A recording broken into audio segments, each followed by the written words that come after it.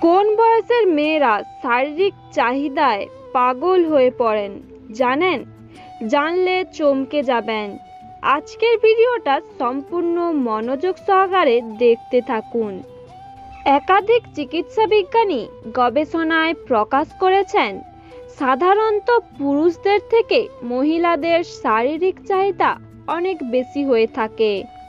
এবং একটি সমীক্ষায় দেখা গেছে, সাতাইশ থেকে পঁয়তাল্লিশ বছরের বয়সে মহিলারা সাধারণত শারীরিক চাহিদায় পাগল হয়ে যান।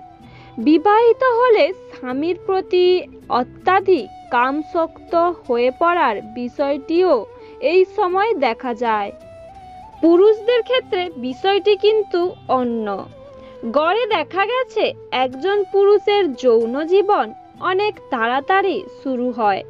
আর একজন নারীর যৌন জীবন শুরু হতে অনেক সময় লাগে। ভারতে বা সমাজ ব্যবস্থার ক্ষেত্রে এই কথাটি আরও বেশি প্রযোজ্য, তাই পুরুষের চাহিদা পুড়ে যায় দ্রুত। কিন্তু নারীর চাহিদা অনেক দিন পর্যন্ত থাকে। একটা সময় পর সেই শারীরিক চাহিদায় পাগল হয়ে যায়। আর সেই কারণে অনেক নারী এই বয়সের পর পরক্রিয়ায় জড়িয়ে পড়েন। একাধিক পুরুষের সঙ্গে শারীরিক চাহিদার আকাঙ্ক্ষার কারণে তাদের মধ্যে এই প্রবণতা দেখা যায়। তবে সবটাই হয় প্রাকৃতিক নিয়মে। নাম্বার ওয়ান, কারোর ভালো লাগুক বা না লাগুক। এ কথাটা অস্বীকারের কোনো উপায় নেই। যে আর্থিকভাবে সচ্ছল কোনো পুরুষকে বিয়ে করতে চান, নারীদের একটা বড় অংশই চান তার স্বামী হোক ধনী।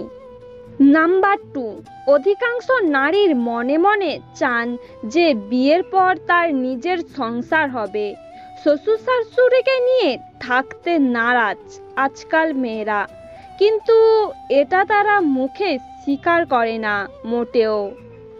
নাম্বার থ্রি বান্ধবীদের মধ্যে সবচাইতে সুন্দরী ও আকর্ষণীয় হয়ে উঠতে চান সকল নারী। তবে হ্যাঁ অবশ্যই মনে মনে। তো বন্ধুরা, ভিডিওটি ভালো লাগলে একটি লাইক অবশ্যই করবেন।